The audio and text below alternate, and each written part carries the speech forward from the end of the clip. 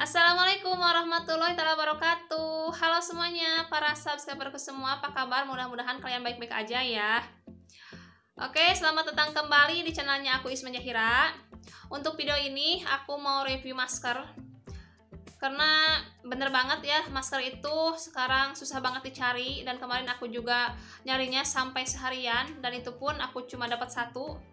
Oke, di sini aku mau review maskernya, bagaimana cara menggunakan masker yang benar dan aku akan bagikan tips kalian bagaimana agar terhindar dari membeli yang namanya masker palsu. Oke, sebelum melanjutkan nonton videonya, jangan lupa ya support channelnya dulu dengan like, subscribe, dan juga share biar channel ini lebih maju dan kalian juga tidak ketinggalan informasi kalau aku bikin video terbaru.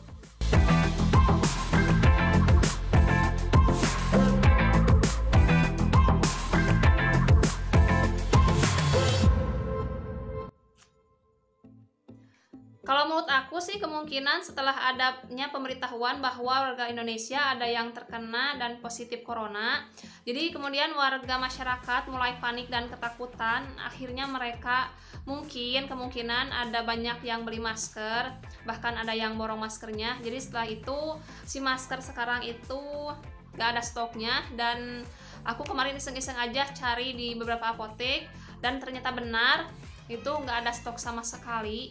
Aku nyarinya mulai dari apotek yang biasa sampai yang apotek yang gede banget itu nggak ada. Kemudian aku tanya kenapa e, masker nggak ada? Katanya sih belum ada pendistribusian dari sananya. Seperti itu. Kemudian dari situ aku coba nyari di toko kosmetik, kemudian di toko kosmetik aku juga cari nggak ada. E, setelah itu ya udahlah, itu sudah hampir sore juga. Aku memutusin mau pulang, tetapi pas di minimarket aku coba cari-cari. Ternyata ada. Itu juga cuma ada satu guys. Jadi aku cepat-cepat beli maskernya. Dan ini dia maskernya. Jadi perjuangannya aku cari masker ini sampai seharian guys. Dan ini juga tinggal ada satu makanya aku beli. Jadi bener ya sekarang itu masker jadi kayak barang langka dan sulit ditemukan. Untuk teman-teman semua kalian juga boleh cek di daerah kalian masing-masing. Bener gak sih maskernya masih ada apa enggak stoknya? Dan nanti kalian boleh komentar di kolom komentar di bawah ini. Nah ini dia maskernya. Sebenarnya kemarin aku mau cari yang masker bedah, cuma nggak ada. Aku dapatnya masker ini masker elop ini masker yang hanya untuk menyaring debu e, polusi dan dapat melindungi yang namanya pernapasan dan juga paru-paru karena gak ada ya udah aku beli ini aja ini masker e, merek screener bisa dilihat ini isinya 5 untuk warnanya kalau nggak salah itu biasanya ada tiga warna. Ada warna pink, oranye dan juga abu. Cuma yang tersisa cuma satu jadi aku beli yang ini aja. Ini warnanya abu isinya 5 untuk harga sendiri masker ini belum naik ya harganya. Aku beli di minimarket ini 9300 untuk 5 piece. Kayak bisa dilihat ini masker airlock-nya untuk masker elop sendiri ini bisa digunakan oleh e, laki-laki dan juga wanita kemudian untuk maskernya ini tidak ada perbedaan antara bagian belakang dan juga bagian depannya jadi sama Cuma untuk kalian yang ingin menggunakan masker ini bisa dilihat dari ini ada kayak kawat gitu ya guys. Bisa dilihat ini kawat. Ini untuk bagian hidung, bagian atas dan ini bagian bawah. Untuk penggunaannya untuk kalian yang belum tahu gimana sih cara menggunakan masker yang benar, bisa dilihat e, dari apa sih depan dan juga belakangnya. Kemudian ini dari lipatan maskernya. Untuk lipatannya maskernya sendiri uh, yang benar adalah si lipatannya ke bawah kayak gini. Jadi gak boleh pakainya seperti ini ya. Jadi gak boleh ke atas si lipatannya. Jadi seperti ini aja. Oke kalian tinggal gunakan aja seperti ini untuk maskernya kemudian bisa tempelkan pada telinga.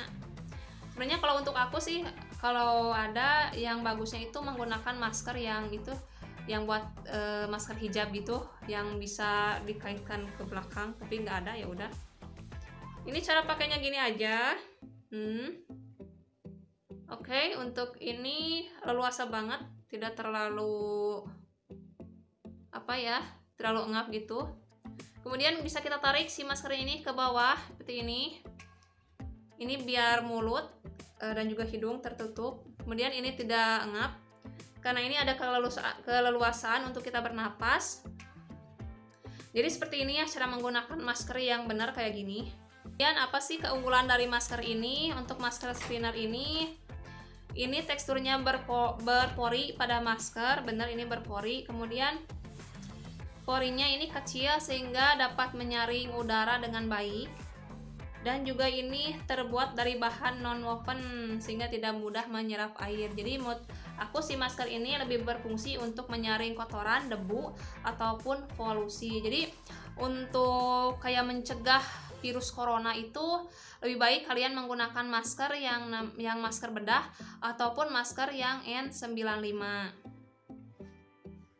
tapi mungkin karena si masker itu sekarang sudah langka banget ya sebaiknya saran aku sih untuk kalian yang tidak sakit sebaiknya tidak usah menggunakan masker karena itu salah kita sendiri. Apabila kita beli maskernya maka si masker itu akan menjadi harganya naik. Kemudian kalau kita kaitkan dengan hukum permintaan ya bahwa apabila permintaan semakin meningkat maka si harga itu akan semakin mahal. Jadi seperti itu ya jadi selain harganya mahal, ini juga akan berdampak pada para medis. Jadi kasihan juga ya untuk para dokter dan juga perawat yang suka menggunakan masker ini untuk e, mengobati pasien. Jadi itu ya.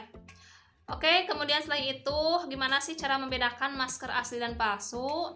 Tipsnya adalah sebaiknya kalian ada pembanding sih kalau ada. Cuma karena sekarang ya urgent nggak ada masker, jadi tinggal ini bisa dilihat yang pertama tipsnya adalah belilah masker di apotek ataupun di minimarket atau swalayan ya. Karena kalau beli kalian di sana dipastikan e, si masker palsu tidak akan masuk karena mungkin pada swalayan ataupun pada apotek itu ada SOP-nya gimana untuk pendistribusian barangnya sendiri. Kemudian tips yang kedua adalah e, cara membedakan masker asli dan palsu itu harus ada pembandingnya guys. Jadi kalau untuk aku beli ini di money market dipastikan ini masker asli cuma ini tidak bisa untuk mencegah yang namanya virus corona karena yang bagus untuk mencegah itu adalah eh, masker yang N95 dan juga masker bedah.